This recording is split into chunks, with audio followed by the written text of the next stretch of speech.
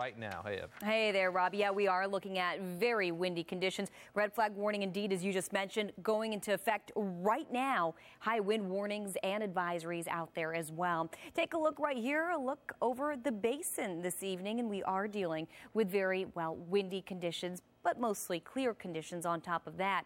Red flag warnings, again, just going into effect pretty much across the entire Southland. And with that, we're looking at windy conditions, warm conditions, and dry conditions. The combination of the three making for red flag conditions out there. Several other advisories and again warnings in store. In the light blue area on your screen, we've got a wind advisory in store. We also have high wind warnings in store. They're already in effect lasting through tomorrow afternoon, expecting wind gusts in some of our mountain locations, possibly up to 60 plus miles an hour. So we're going to show you your peak wind gusts. We're going to show you how windy it is right now and what you can expect as we head to the weekend. All of that coming up in just a little bit, so don't go away. Back to you. Turn on. Don't leave on your electronics. Listen to the flight Yes. attendants. You wouldn't think it could make that much of an impact. Right. I guess I can. And there was always Never sort of the rumor that it really doesn't. So you're like, oh, okay, it doesn't. But it's good to know that it really Yeah, does. it really does. It really anyway, we are headed into the weekend. It's Friday. Where's my Friday dance? Friday dance. There we go. It's not my Friday. I'm not dancing. No, uh, I, was- I always rub it in with You always Rob. burn me on that. I'm so you got to be sorry time. about careful. that. Rob will be here tomorrow. But for most of us who have the weekend off, Yeah. um, it's going to be beautiful, I hope. It's going to be gorgeous. The one thing we do have to watch out for is the wind. The mm. wind is persisting as we head into the weekend here. It's going to continue on through tomorrow evening, and then things are going to calm down. We've got lots of warnings, lots of advisories to talk about until we get there. So, of course, we have to use caution as we head into tomorrow. It will be a warm day, but it will be windy and it will be dry. So, the combination making for red flag conditions out there.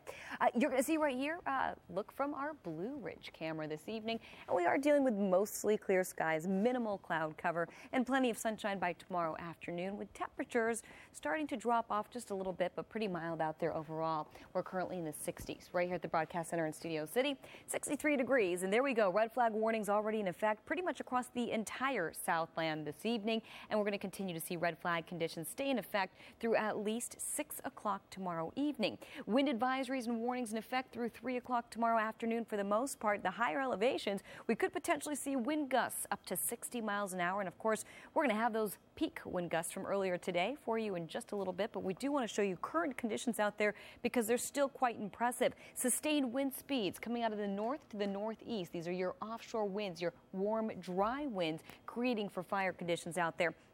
21 miles per hour. For Santa Clarita, Castaic at 22, Chatsworth at 19. As we head over to the higher elevations, we are looking at wind gusts in the teens and over to the San Fernando Valley. You're going to see Encino, 11 mile an hour winds for you. Burbank, you're at 9 miles an hour. And for the high desert, 10 to 12 mile an hour winds between Lancaster and Palmdale and the Leona Valley. Also looking at double digit winds. Heading over to the Orange County coastline to Huntington in particular, 14 mile an hour winds and up to Long Beach. You're currently at 11 miles an hour. Out to Corona, 11 miles an hour for you, and Whittier, a little calmer at 6 miles an hour. So we are taking you through your forecast model right here because we are dealing with very windy conditions, and you're going to see just that. How do you know? Well, take a look at the contours here. The warmer colors on your screen indicating the windiest spots. You're going to see, well, when the lines right here get closer together, that means it's very windy. You're going to see that right here. Then when you see the pink, the orange, the red, that all indicates very windy conditions as well. Take a look, pretty much the entire Southland looking at wind, and that's going to persist into the morning hours tomorrow. Remember, we're still under the advisories and the warnings as we head into tomorrow. By the afternoon, the wind's starting to slack off a little bit, and by 6 o'clock tomorrow evening, still breezy out there, but we are expecting conditions to start to calm down and all the advisories and warnings to expire.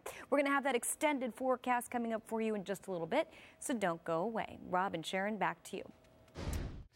And we're looking at a very warm but windy forecast. We're going to have all the details coming up in just a little bit. What? Yeah, yeah, but Oh. it's okay. It's okay. There's there's still a chance. We sold them, but Oh, okay. what are you going I to think do? you have two You more get- you'll nights. get 'em again. Yeah. yeah, there we go. Yeah. We'll get him again. But it looks great. So uh, hopefully we'll get the chance to see that.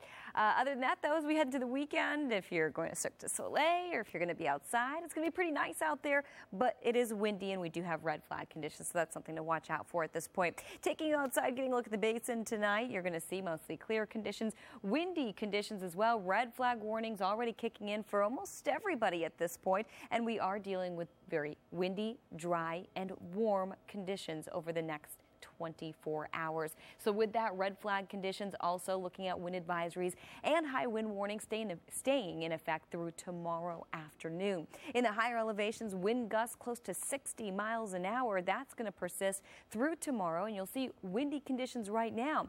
Gorman, 17 miles an hour right there through the grapevine. And remember, these are your sustained wind speeds, so peak wind gusts are even higher than this. And speaking of peak wind gusts, we do want to show you some peak wind gusts. This is since 4 o'clock this afternoon. Simi Valley, you got up to 40 miles an hour. Malibu Hills, 49 miles an hour. Chilao, 54 miles an hour. Whitaker Peak, 39. And the Newhall Pass, one of the windiest spots of the day, 55 mile an hour wind gusts for you. So very windy conditions. And again, this is persisting through tomorrow and that mixed with the warm conditions and the dry conditions making for critical fire weather out there. So more on the wind, but we do want to move on to temperatures. You're going to see 40s, 50s, 60s out there earlier today, made it to 78 in downtown, exactly 10 degrees above average for this time of year. And over the next 24 hours, 50s and 60s by the afternoon. We're up to 78 degrees for downtown, up to 74 for the beach, Riverside 76, and Woodland Hills. You're getting up to 77 degrees by the time we hit tomorrow afternoon. Your five day forecast showing you 70s across the board, upper 70s, getting down to low 70s with a little cloud cover as low pressure starts to move in Monday into Tuesday, even into Wednesday. Then you're going to see right here, next five day forecast showing you that same pattern. Warm all week weekend long, but windy and warm as well. And then cooling it down Monday into Tuesday, little warmer by Wednesday. Sharon and Rob, back to you. Mm -hmm.